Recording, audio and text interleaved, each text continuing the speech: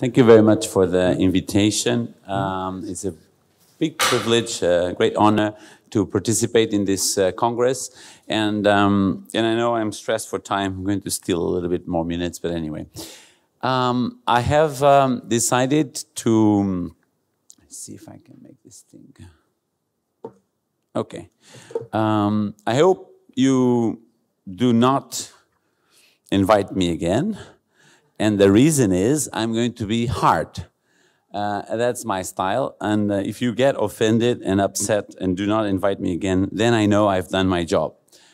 That's, that's the way we, we work in SPMS, and uh, that's the way we've been doing uh, our uh, digital health agenda in the last few years. Um, I prepared the slides in three groups, just having a quick look at Greece and Portugal. We have a lot of things in common. Um, and, uh, and then looking a little bit at the European scene as well as some examples from our country, not to say we're better, but to say that it is possible to do a lot with difficult times. It is possible to move ahead with not that much money as the Dutch, for example, that have a millions uh, strategy right now. Um, and, and, and I think that is useful and inspiring uh, for a country that has gone through hardships. I've been here a few times myself in, in previous years, um, and, and I, I, don't claim to know or understand the problems and the challenges, but, but some of them are, of course, transversal to many countries, and, and then some of them are specific to Mediterranean countries. So I think you know this. I think you also know uh, that you have an issue with life expectancy. I always use life expectancy to talk about digital literacy. And in my country, one fourth of the population does not access the internet. And of course, that is the most old people. And then the question is, are we going to wait another 10 years until they die? Or are we going to digitalize our elderly people? And so we have an active program, for example, in SPMS on digital literacy and we go with councils and municipalities um, to make sure that all citizens go digital. Uh, I'll, I'll, talk to, to you more about that. Of course, you know you have these problems. This is uh, economics and health policy conference, third day, so it's supposed to have gone through all of this. But the reason I'm putting this here is because there are tools online that one could use to solve partially some of these problems. One, one of them, actually, to link with previous speaker, because that's ethics in, in speaking in public, is uh, mortality rates. If you go digital, Portugal was one of the first countries in the world to have full compulsory mortality reporting. Um, so everyone that dies after January 14 has a digital death certification, and we, we update five minutes, every five minutes, an online portal on the mortality and, and so you can see things like heat waves and things like that. So even mortality, that seems such a sort of a non-interesting topic, it is a critical topic if you're devising policy. Therefore, having statistics up to the day is very critical. The other thing you know about your country, of course, these are statistics for your country, is that you have a problem with hypertension, with diabetes, with asthma. Uh, and I give you this because I'm going to give one example on diabetes on how we are dealing that with digital technology as an example of new ways of treating uh, the old problems. And we also know that the Troika years in Greece were not very nice to healthcare because your expenditure went down, it had to went down. I can also tell you that in our country, it also went down. We had an annual budget of 10 billion euros in the NHS. We went down to 4.8.5 billion euros. And the health agency was the only agency that had an increase in the budget in the Troika years. And of course, we were not very esteemed by the hospitals because our budget was going up. But also, our savings were going up, both in procurement and in IT. So I'll tell you more about that later. So when you have health expenditure going up, that's when you have to speed on the IT. I have no doubt about this. And, um, and then, of course, I know you know this by now, but I think it's fun to know that Greece is all the way down or up or everywhere. I mean, if Hippocrates wasn't Greek, you wouldn't understand this graphic, right? Of course, you have the highest percentage of doctors in the planet. And that's not a bad thing as long as they work hard.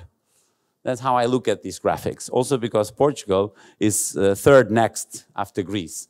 So it's not an issue, you know. It's just what do you do with your doctors? Having a lot of doctors is not a problem. It's what you do with them that's the issue. So you just have to IT your doctors, make them super robots, make them work uh, super hard. And that's what we do over home, and that's why they hate me. Anyway, this is the graphic for 2019 uh, recent report of the OECD. Um, you see that Portugal is not very different from Greece, you see. Uh, so we can share some learnings that I think are useful for the conversation today. Um, we also share the corner of the graphic, Greece leading, of course, uh, and then we have Austria and Portugal. Uh, funny enough, we're three countries, 10 million kind of countries, uh, and with an IT sector, as explained by another previous speaker to mine, that has something to share and something to learn from. Then, of course, we have Norway, which we have very little in common, uh, um, except they have a lot of money, uh, which is not the case for Portugal for sure. Well, anyway, European context. We have a digital agenda, we have an e-government plan, you know, and normally, you know, I fly to Brussels every, maybe every two weeks. And I, I always tell my team when we come back to Portugal, now we stop the talk and let's do the work. And, and I respect the work we do in Brussels. We do need to do policy. We do need to do the talking. But at the end of the day, the power and the decision and the authority relies on the services you have developed to your citizens.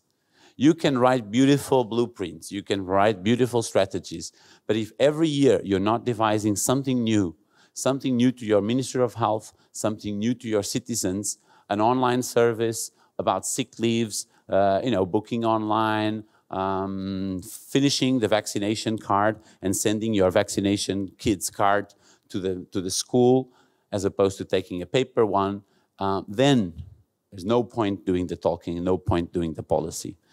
Um, so we, we, we, we say for a long time in Portugal, the best strategy is implementation, uh, which is a very conflicting sentence. Anyway, there are tools to understand this European context, and I think countries like Portugal or Greece do benefit from being highly involved in the European scene.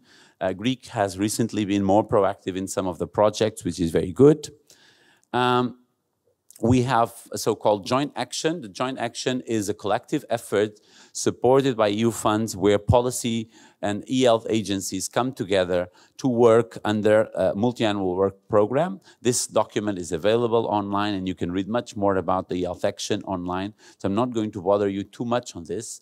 Um, but just so you understand, it also links, this multi-annual work plan also links with the European Commission a communication on digital uh, health that was published on the 25th of April 18. I, I love this day you should know that 25th of April is Freedom Day in Portugal, is when we kicked off our uh, dictatorship regime in 76. And it is also, so we call it the day of the revolution. And it is also the day where I took office in SPMS more than six years and a half ago. So it's also the day of the revolution for digital health. And I'm very proud to be the president of SPMS for more than six years and a half. Two governments, right wing, left wing, four ministers, five secretaries of state. So you need continuity in the strategy and strength in the agency. It's very simple words. Continuity in the strategy, strength in the agency. That's what you need. And then the technicians, they do the rest. Well, as long as you pay them enough. They're always demanding more salaries like the doctors. But anyway, there's the only two things IT people have in common with doctors. You know, they want more money and they are able to do anything they dream of. It's very simple. That's how you make them together, like each other. Anyway, so this is the multi-annual work plan. We're talking about telehealth, mobile health. We're also discussing topics like big data. There's going to be a very important workshop in Lisbon on the 25th or 22nd, uh, 21st and 22nd of January this uh, coming year where we are going to bundle together nations' strategies, but also the European vision for the so-called European health data space. Um, and of course, this joint action brings together different countries to discuss, and Greece is part of this uh, effort, um, also um, working together with us on two areas, interoperability and cybersecurity. Um, so I'm going to jump this to, to tell you on the eHealth network level, we are in the eighth year of the eHealth Network. The eHealth Network is the policy body where we get together to discuss these common topics and make decisions on guidelines like the patient summary, the e-prescription guideline.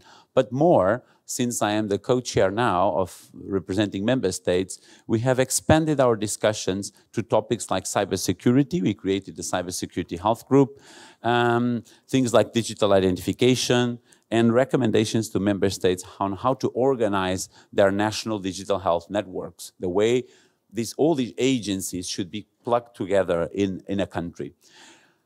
So this is cybersecurity uh, for Portugal. So beneath, we have the public sector uh, responsible for cybersecurity.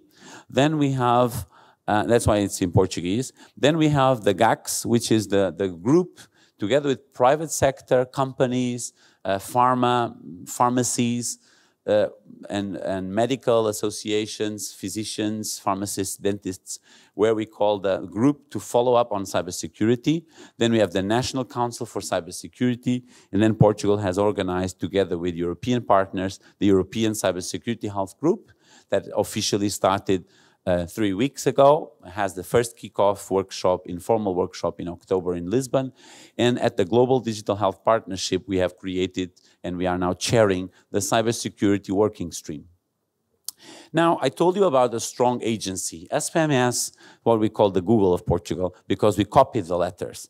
And, and my suggestion is do not use big companies uh, like US. Copy them and make one. That's what we believe.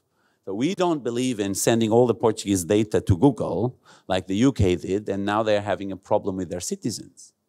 Because citizens don't like the idea of having big data and analytics on their data without them understanding what it is.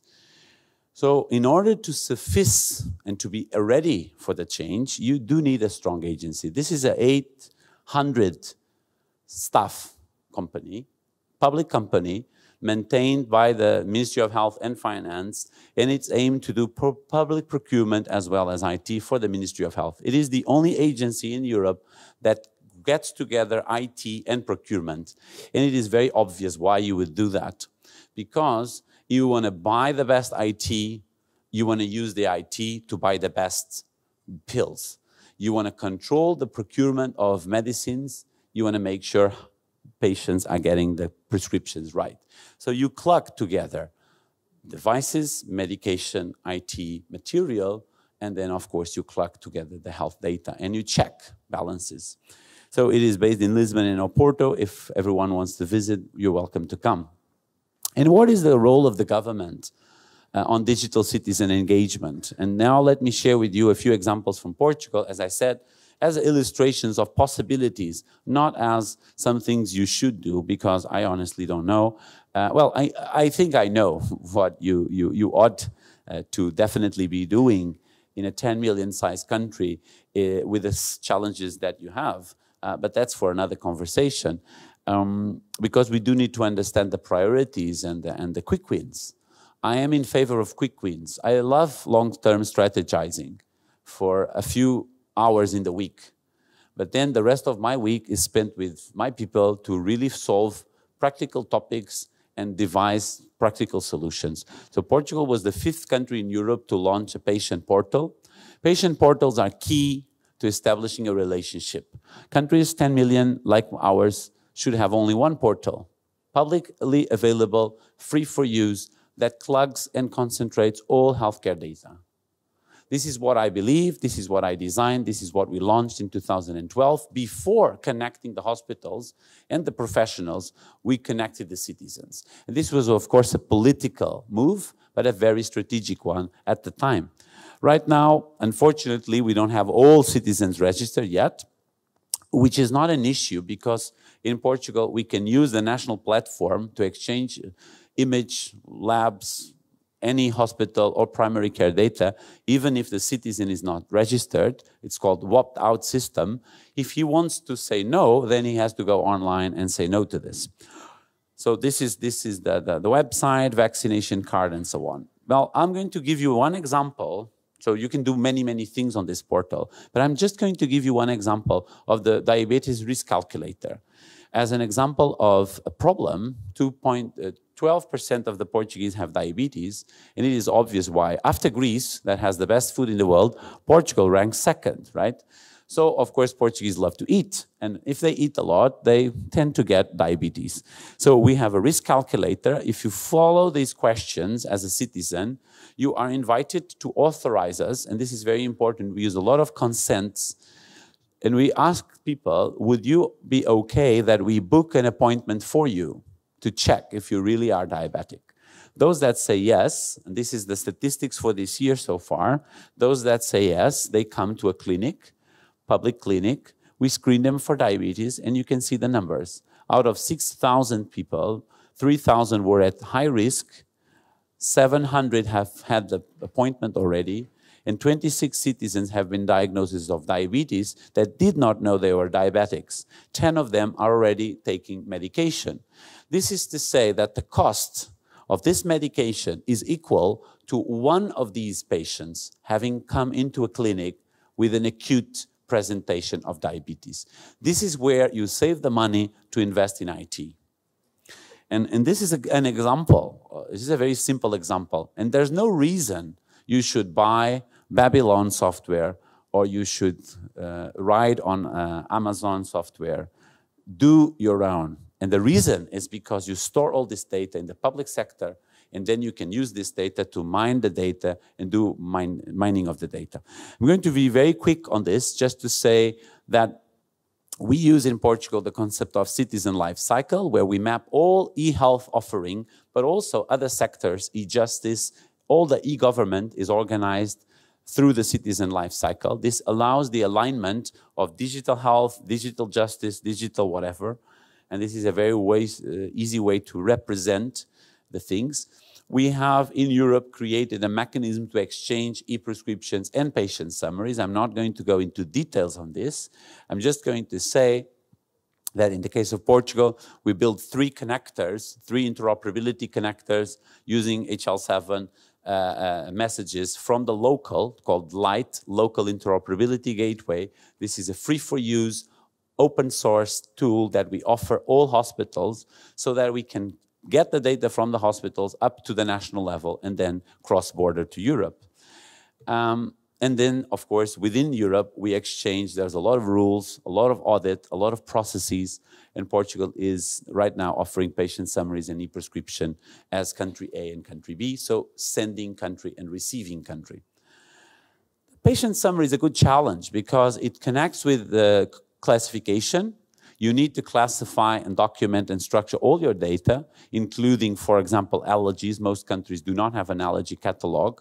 Uh, we created an allergy catalog, and now we have a terminology center. It covers all catalogs, allergies, labs, and so on. We are also on SNOMED, and I think it's very useful uh, uh, to, to help the country. And this is then embedding the patient summary into the local software. This is the look and feel of our hospital software that is uh, um, offered and maintained by SPMS to the hospitals. And these are some of the countries that are in the project. Now, very quickly, uh, I told you already about our portal, uh, and I told you already that we are offering the services to the citizen, but the first thing we do to offer cross-border services is to ask consent. And in, in the portal, we manage many consents to gather information, to use information, to share information. It's very important to involve the patient. We also have devised the mobile solution. It is now almost half a million uh, population uses our mobile app. And the idea is basically a wallet, like the iPhone wallet, and all the information is stored in different cards, vaccination card, immunization card, uh, physical activity card, which steps up the steps. Another trend that is happening is so-called Dr. Google. People go online because they feel sick. They have the flu. So we decided to fight this and we created our own website with a symptom checker. So in Portugal, since January this year, we launched our own symptom checker. So people can go online and they can say, you know, I feel sick, I feel nausea, uh, I feel the flu, and we go through the algorithm.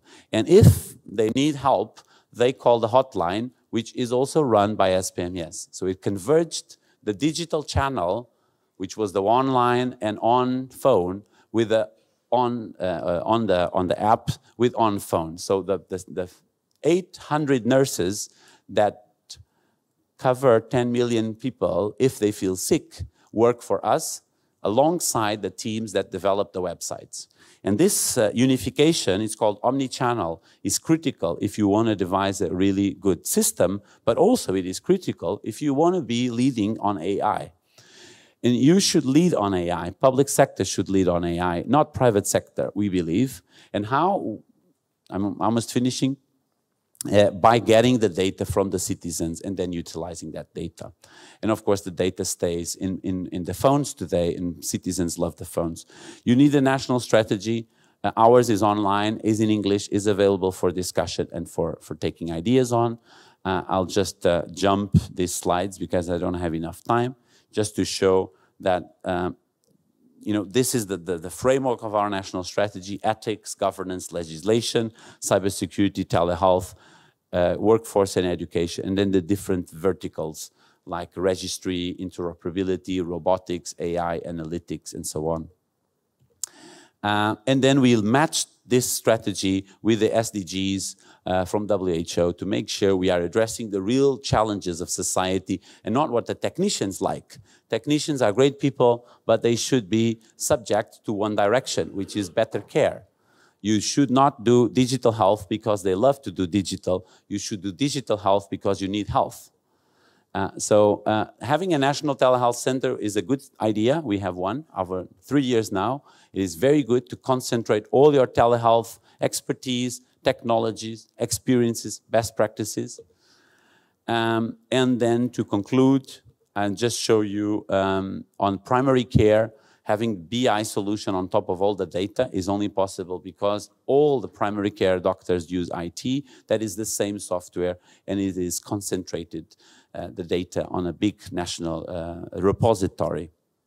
And then, of course, having a strategy for AI that is targeting challenges. For example, we have an AI uh, strategy that is looking at things like, for example, um, inadequate antibiotic prescription. Portugal and Greece are, are very bad on this uh, together, so we have a project on this.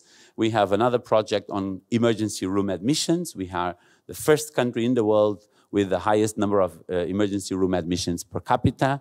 So we have an AI project looking at why do people go to the AI and uh, to the emergency room and teledermatology, and then data donation. And with this, I want to conclude. This is my final slide some tips, some suggestions, concentrate data and information about the system. So data spaces, big data for the system to be properly managed for policymakers to have real-time data, but also concentrate information for the citizen. It is not fair to create solutions, at least in our type of countries, where the citizen will have a portal and he's the one gathering the data from every provider. Citizens are not capable to do that in most cases. Uh, so I think governments have a role there. Cross-border care, primary care, hospital care, and self-care are a continuity of care. It's not separate. So we know that. So our solutions need to look at that. Mobile, private, and secure by design. It's easy to talk about privacy by design. So why not talk about mobile by design? No one wants to use desktops anymore. No one carries laptops anymore. People carry their phones next to their hearts. So that's where IT for health should be, right next to the heart, right? I mean, we carry this thing one centimeter away from the heart. So if you have digital in your heart and close to your heart, it's at your heart. Informed policies and new generation of digital health. Thank you very much. Sorry for the delay.